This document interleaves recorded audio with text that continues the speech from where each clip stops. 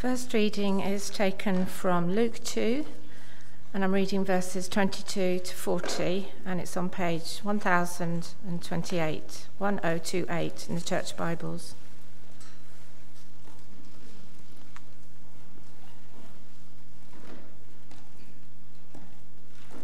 When the time of their purification, according to the law of Moses, had been completed, Joseph and Mary took him to Jerusalem to present him to the Lord.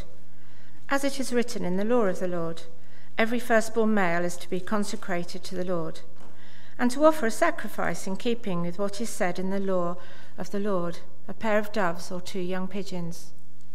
Now there was a man in Jerusalem called Simeon, who was righteous and devout.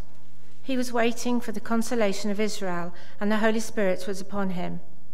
It had been revealed to him by the Holy Spirit that he would not die before he had seen the Lord's Christ. Moved by the Spirit, he went into the temple courts. When the parents brought to the child Jesus to do for him what the custom of the law required, Simeon took him in his arms and praised God, saying, Sovereign Lord, as you have promised, you now dismiss your servant in peace. For my eyes have seen your salvation, which you have prepared in the sight of all people, a light for revelation to the Gentiles and for glory to your people Israel. The child's father and mother marveled at what was said about him. Then Simeon blessed them and said to Mary, his mother, This child is destined to cause the falling and rising of many in Israel, and to be a sign that would be spoken against, so that, that the thoughts of many hearts will be revealed, and a sword will pierce your own soul too. There was also a prophetess, Anna, the daughter of Phanuel of the tribe of Asher. She was very old. She had lived with her husband seven years after her marriage, and then was a widow until she was 84. She never left the temple, but worshipped night and day, fasting and praying. Coming up to them at that very moment, she gave thanks to God and spoke about the child to all who were looking forward to the redemption of Jerusalem. When Joseph and Mary had done everything required by the law of the Lord, they returned to Galilee to their own town of Nazareth. And the child grew and became strong. He was filled with wisdom, and the grace of God was upon him.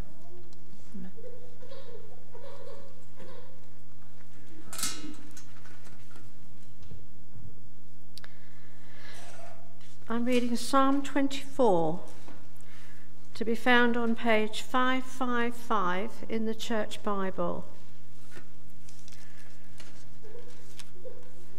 Psalm 24.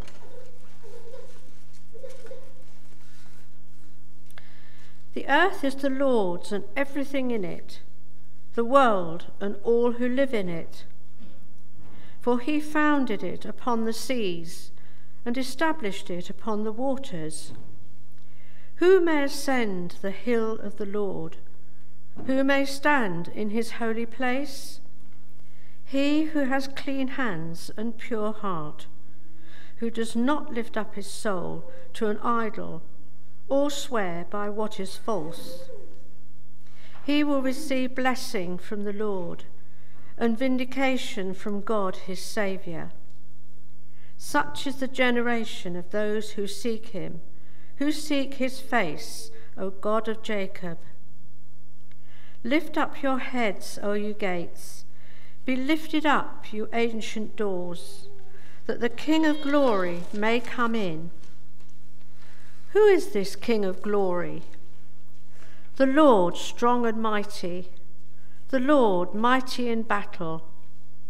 Lift up your heads, O you gates, lift them up, you ancient doors, that the King of glory may come in. Who is the, the, this King of glory? The Lord Almighty, he is the King of glory. Amen.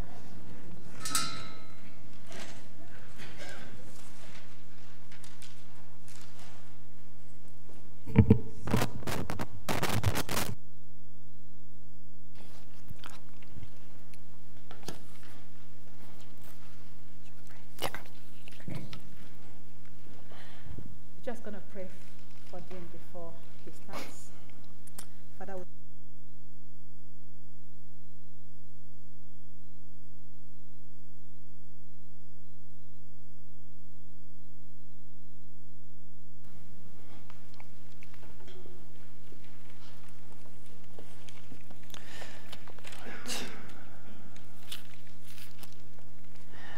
Okay, the earth is the Lord's and everything in it. Can you just drop it down a bit? Thanks.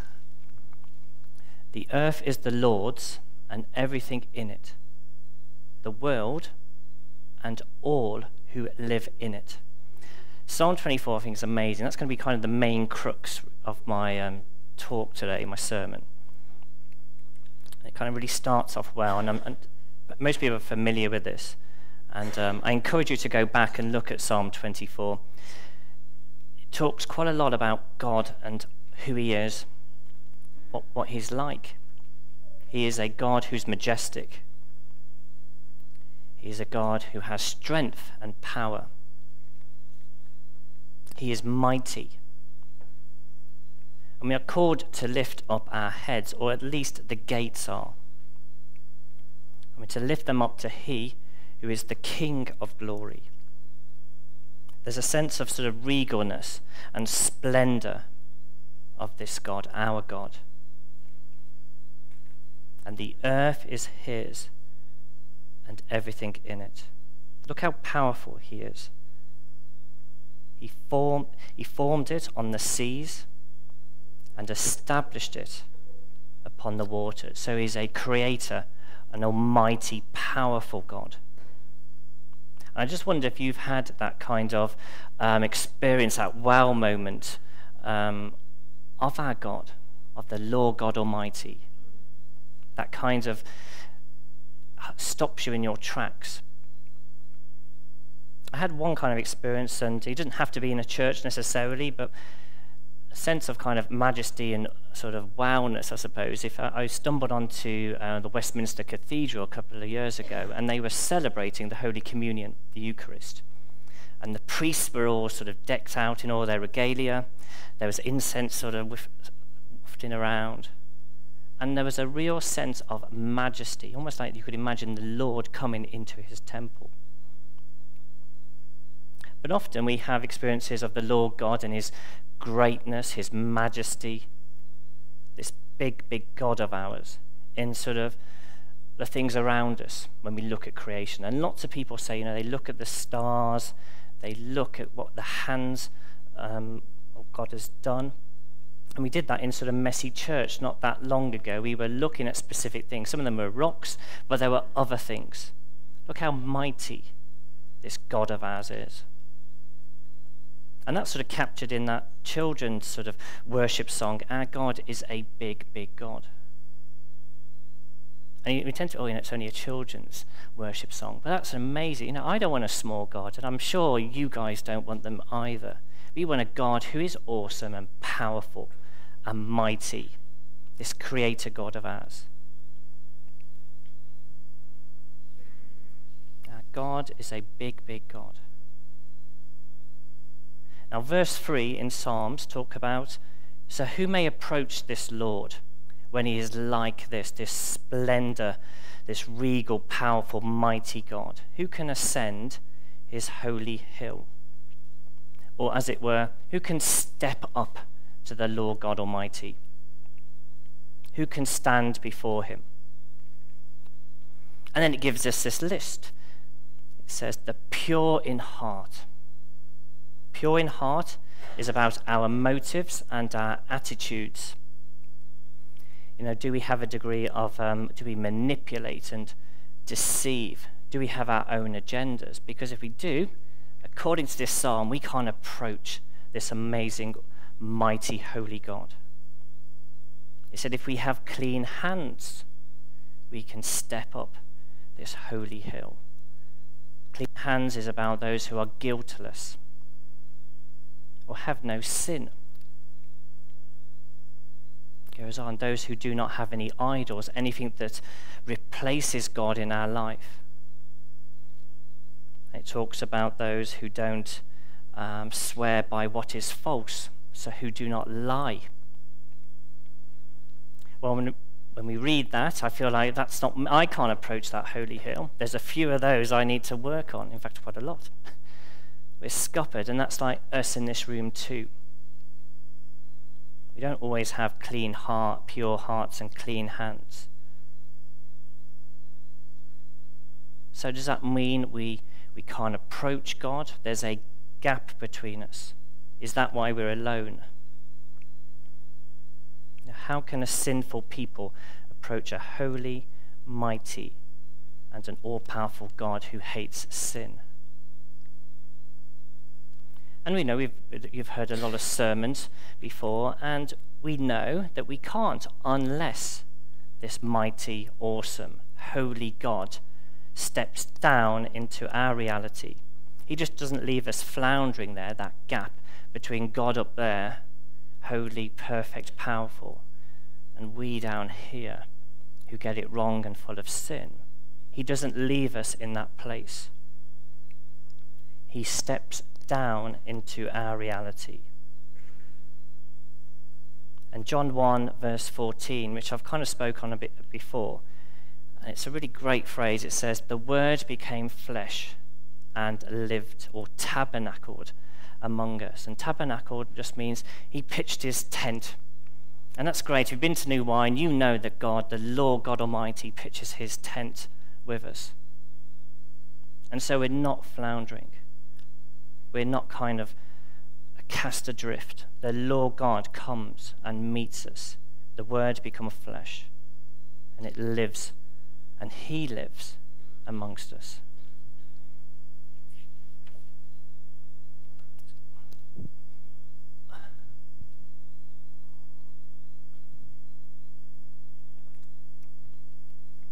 Going back to verse 7 of that Psalm 24, speaks of God, the King of glory, coming into his temple.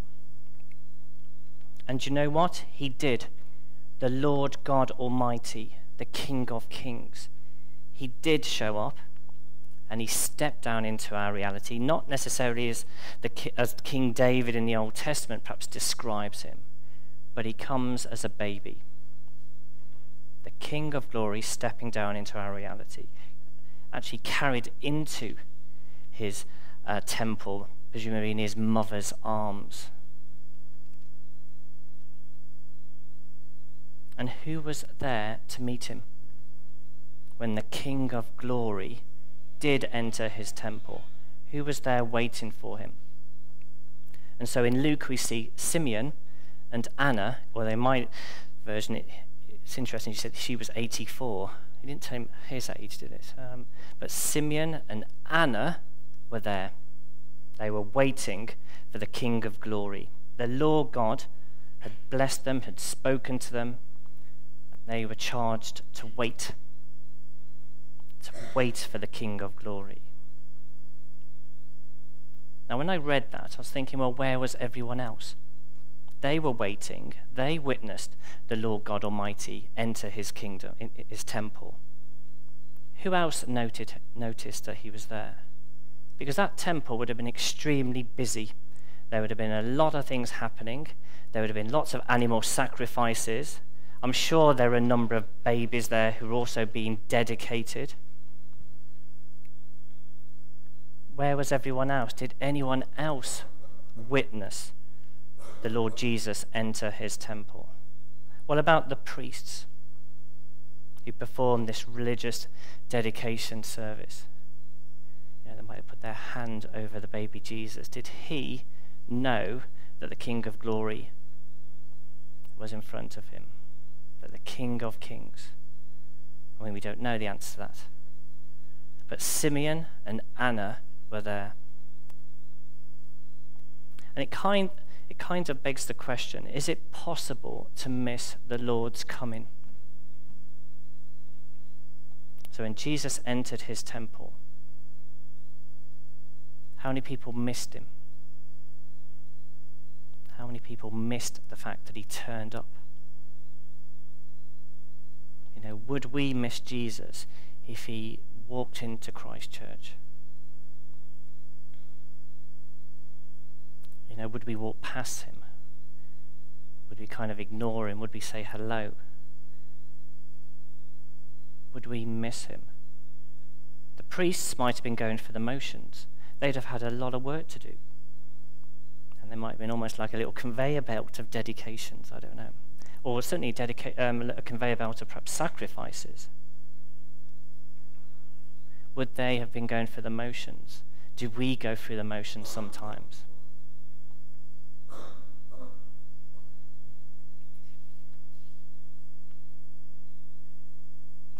Well, not according to verse 5 of Psalm 24. Not if we seek his face. And it's interesting, there's been an awful lot about that phrase today. In, in, the worship was full of it, and people like Ruth and Nice. You know, it was great when that happens because you think, yep, that's a bit of vindication there. We are called to seek his face. That's been a real big message in the service today, and actually it was last week. Now, I wrote this sermon last Saturday, probably the same time that Lee um, was preparing for his. So God was obviously coordinating. That may be quite a big message, actually, for Christ Church. And I'll leave that out. I'm going to talk a bit more about it. But the importance of us seeking Jesus' face. I feel that Simeon and Anna were in that temple looking for the King of King, Kings a long time. I think they were probably actively or actively seeking him. They would have, of course, had moments of doubt.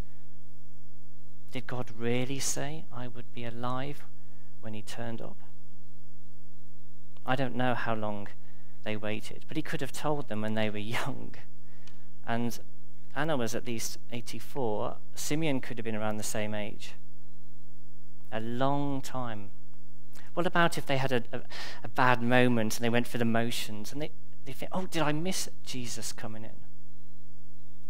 That could have been eating away at them. Did I miss him when he came in? You know, the enemy would have been playing all sorts of things in Simeon's heart and mind. Oh, he's not going to turn up. It's a long time waiting. Oh, you've missed him.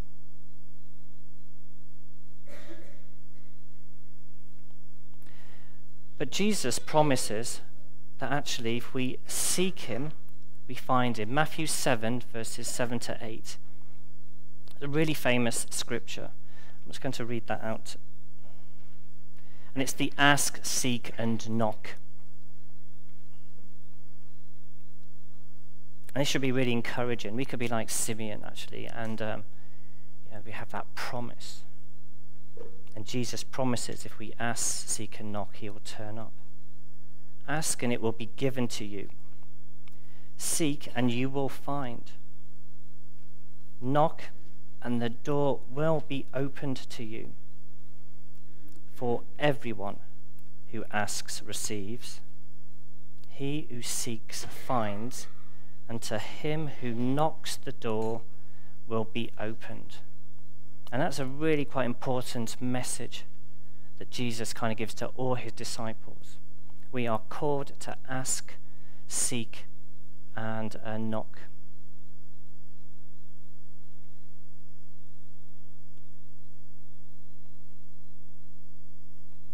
How many of us here can hear Jesus knocking in our lives, knocking on our doors, our hearts?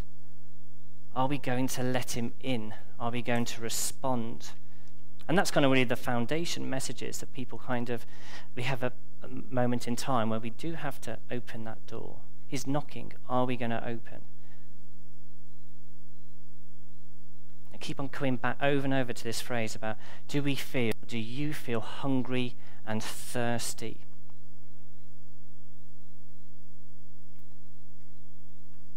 How many people are not satisfied with their relationship with Jesus at the moment? You know, I pray with all my heart that you are not satisfied. I pray the Lord Jesus makes you not satisfied with him at the moment. You might not be happy with that, but it'd be great if we were hungry and thirsty. Be hungry and thirsty. Don't be satisfied.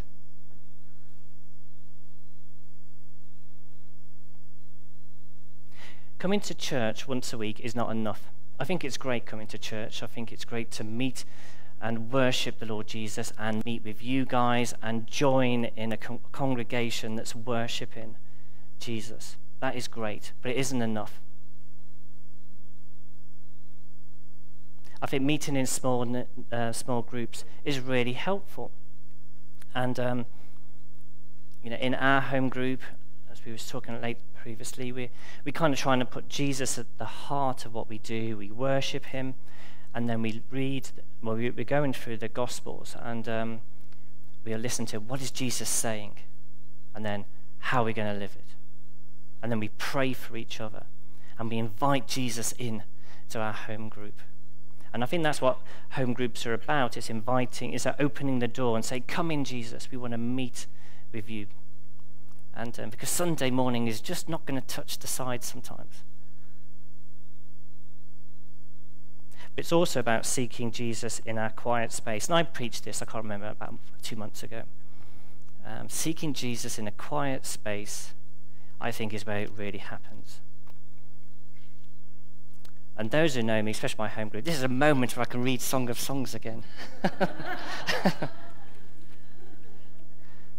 I only have one message. I have one message ever, and um, you know, it is about seeking the Lord. And coming back to that quiet space, Song of Songs 1, verse 4. And I encourage you to go home and do this. You know, it's like you probably had a busy day, or who knows what's been happening, and um, and you're going to crash down on your sofa. And um, this is what I do. You say, thank goodness, thank God, I can sit down. And it's just such a great, I encourage you to pray this prayer, this, this scripture. It says, Take me away with you. Let us hurry. Let the King bring me into his chamber. You're inviting the Lord Jesus into that space where you are. It doesn't have to be a long time, okay? Don't set your clock. Be as short and long as, as it can be. But just find a space for Jesus to come in and ask him to take you, take you away with him. To be in that kind of personal place where he inhabits, to come and join you in your lounge or bedroom or wherever you, you meet him.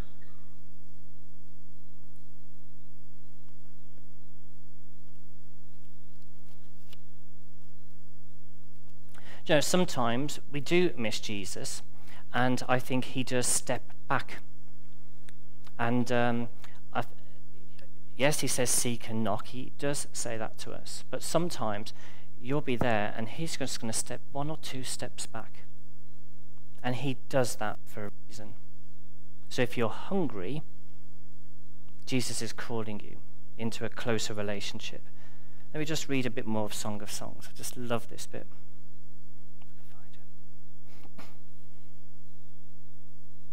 This is um, chapter 3, starting at verse 1. It's a Song of Songs 3, verse 1. All night long, on my bed, I looked for the one my heart loves. I looked for him, but I did not find him. There's someone here realizes actually where is where is Jesus? The beloved then said, I will get up now and go about the city through its streets and squares. I will search for the one my heart loves. I will search. So this is not being passive. Oh, you know, Jesus is not around. Let's just go, let's put the telly on, um, or fill whatever gap, whatever you do in those gaps. There's a kind of an intention here, and this is what I think Jesus is calling us as a church. This message just keeps on coming, coming back, and um, I think he probably steps back a little bit so that we can step forward. And so we can say, I will search. I will look for him. And so the beloved, you know, she gets up, she searches the squares and the streets. So I looked for him, but I did not find him. The watchmen found me as they made their rounds in the city. Have you seen the one my heart loves? So she's asking help. But then the good news on verse 4 Scarcely had I passed, scarcely had I passed them, when I found the one my heart loves. Ask, seek, and knock. I found the one my heart loves. What did she do? This is really important. I held him and would not let him go till I had brought him to my mother's house. So when you find Jesus, and some of you, actually a lot of us, will, will know Jesus at this point, don't let him go. Hold on to him. Don't get distracted on all sorts of things that we can get distracted over. Hold on to him. Spend some time on him. Don't let that relationship be neglected.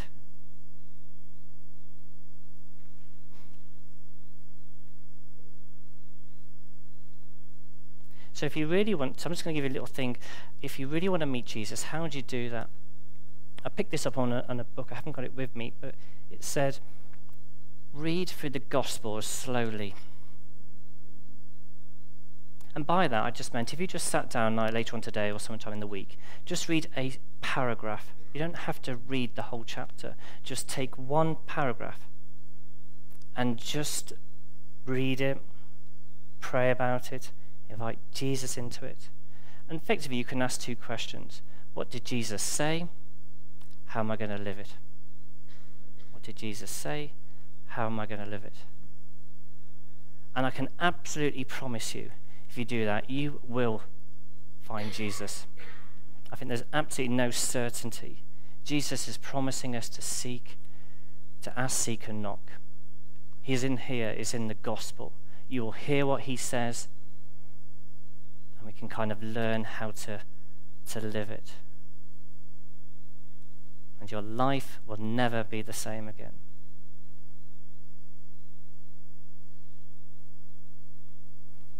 I'm really rubbish at ending my sermons, okay? I'm actually a teacher and I'm really rubbish at ending my lessons as well. Um, I, I, can't, I usually get bored. I think I've had enough, now let's go. Um, I shouldn't really say that, but. Uh,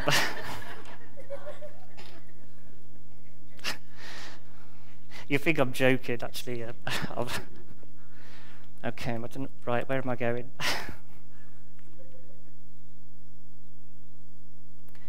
the King of glory the Lord God Almighty, this big, big God of ours, came down to meet with every single one of us. And he came into his temple as a baby. He grew into a man. To remember that. He grew into a man. And he walked the streets and houses. And he made lots of promises that he would be with us. So, yes, don't be intimidated by him in, in a sense that, yes, he's all powerful. But he does. The Song of Songs is very, very adamant about this that he wants a um, relationship with you and I. Don't neglect that. Hold on to it. And if you haven't got it, get up. Don't be lazy. get up and find him. And he'll turn up and you'll think, thank God for being in my life. Amen.